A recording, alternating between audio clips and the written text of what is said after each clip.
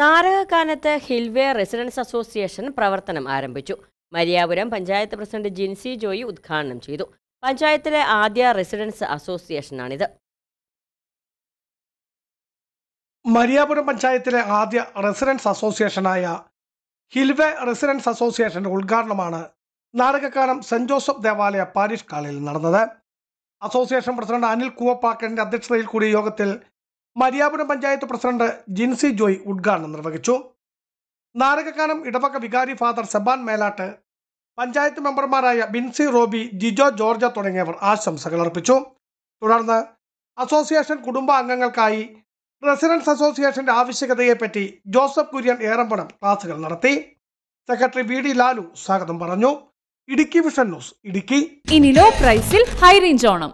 ഏറ്റവും പുതിയ കളക്ഷൻസ് ഏറ്റവും കുറഞ്ഞ വിലയിൽ. High range home appliances